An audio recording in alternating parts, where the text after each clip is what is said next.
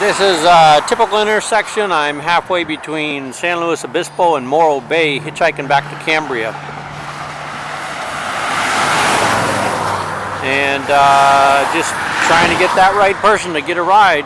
Don't bring the saddle with you, don't get a ride. Make sure it's out there where they can see it and uh, wish for the best. Of course, it doesn't help that it's near a little Auschwitz over here, this prison. That doesn't help at all, hitchhiking. And the county detention, something over in behind those trees. The county paddy wagon's going out there every 10 minutes. Okay, so we got two rides so far. Now we're in Morro and we're headed to Cambria. So we got one more hop. Yeah, there's the, the Morro Rock one more time. They say the uh, falcons work off that in the afternoons. So this is my little girl Appium and I'm back at the bus. And I haven't seen her for a day and a half and I'm going to get some pigskins and something else at the market. We're going together. Huh.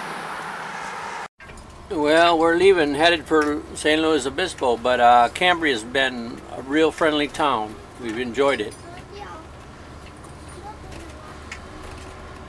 Cambria, California.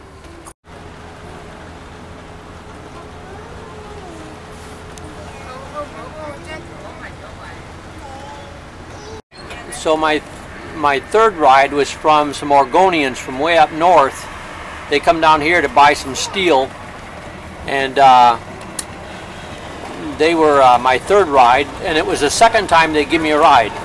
If you can believe that. Pretty cool.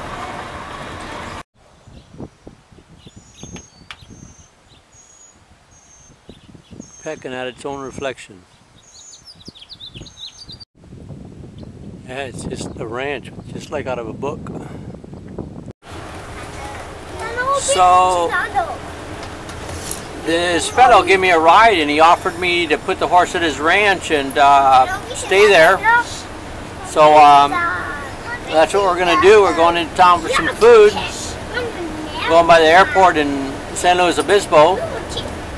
And uh, yeah, I've taken most of the day to get Hampton squared away, but now we're on our way, so we'll rest here a day or two and then head for Santa Barbara. Everybody's eating strawberries and donuts and French bread and milk and orange juice and Michu's cooking some meat. Yokula. Huh?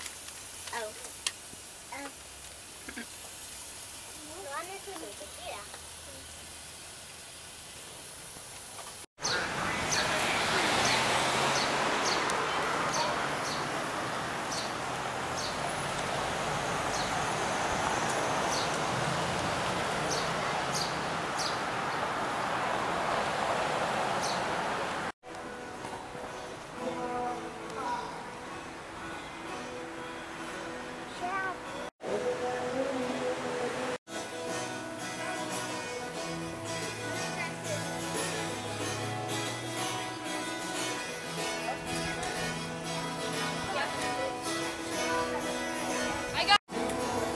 Paulo.